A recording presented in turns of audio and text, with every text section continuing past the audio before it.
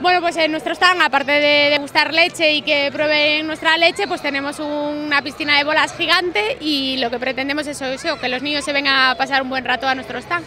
Normalmente ya vienen muchos, pero ahora con la piscina de bolas es una cosa que les llama mucho la atención y que todos quieren, quieren entrar, claro.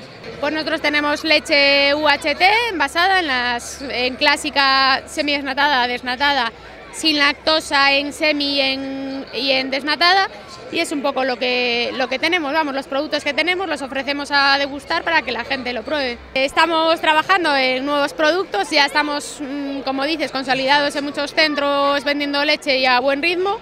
Y bueno, llevamos desde el 2016, o sea que somos muy jóvenes en esto del lácteo y creciendo, la verdad, muy contentos.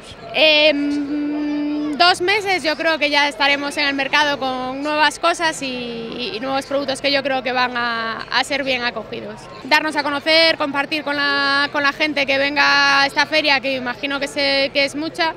Tenemos como un medio compromiso desde que salimos, eh, salimos en mayo del, del 16 y en junio ya estábamos aquí un poco a galope y bueno, todos los años venimos, tenemos una buena relación con Semana Verde y es lo que toca ahora estos días. Pues mira, tenemos la sede en Santiago, lo que pasa que envasamos, nosotros no tenemos eh, fábrica, envasamos, tenemos un servicio de maquila, envasamos en Outeiro de Rey, la fábrica que era de Pascual, y empleados ahora mismo somos 11, eh, bueno, van cambiando, pero bueno, poco, poco a poco.